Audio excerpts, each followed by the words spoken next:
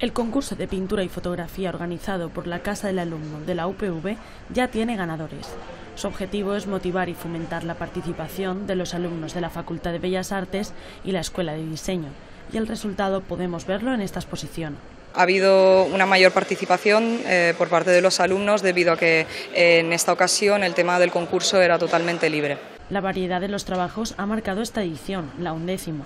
En pintura hay desde abstracción hasta realismo y en fotografía se han presentado trabajos con enfoques muy diferentes, pero los conjuntos o composiciones fotográficas se han llevado el máximo reconocimiento. Hemos motivado a los alumnos que se presentasen a, la, modalidad de fotografía, que si entregaban un máximo, como, bueno, digamos que como el máximo de fotografías eran tres, intentaran que fueran de, pertenecieran a un mismo conjunto, grupo o tema, para que pudieran también acceder al premio del mejor conjunto de fotos. Si no quieres perdértelo, puedes acercarte a la casa del alumno hasta el 20 de junio en el hall de la planta baja.